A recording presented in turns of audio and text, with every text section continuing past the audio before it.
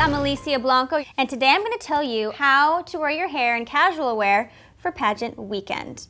This is one of my favorite topics. I'm all about the hair, and I'm definitely a fan of the long, loose curls. I have two gorgeous models with me today, and they're going to show you how they did their hair when they won their titles.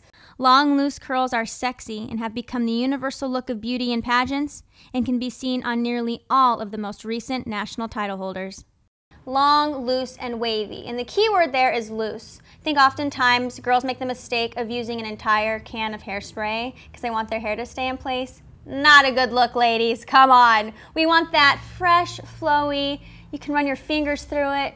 And you really, especially for swimsuit, you want it to look as though you really are having fun at the beach.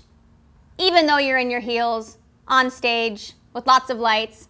There are also great updo options like a high sock bun or a ponytail which is rare and not too common, but if it's done right, it can actually look pretty nice.